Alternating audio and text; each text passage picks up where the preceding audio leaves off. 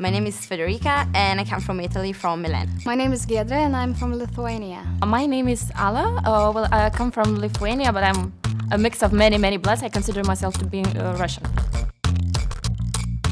I mostly do marketing and international communication with the Russian speaking countries and many other countries. I'm responsible for social media and I'm also responsible for film trafficking, which means I'm the first one to see all the movies.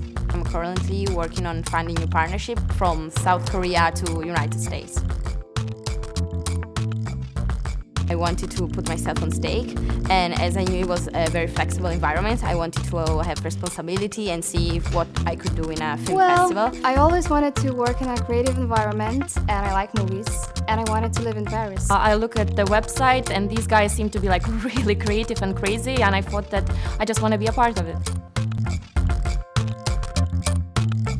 Independent cinema, it doesn't have to compromise, it doesn't have any borders, any rules. Because I believe that it gives freedom both to the filmmaker and the, well, and the audience.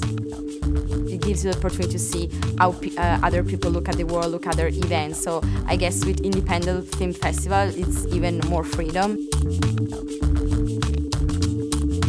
Of course, uh, I think it's a good environment to like really uh, be part, get involved in something, take your responsibility and see what you can do, think a little bit out of the box. I mean, it's fun, it's creative and it's, I mean, it's nothing, it's anything but a normal internship. I would suggest not to expect anything because it's nothing what you can expect from any film festival. I mean, these guys are so creative, so crazy, uh, and it's so nice being here and especially think about you're coming to Paris.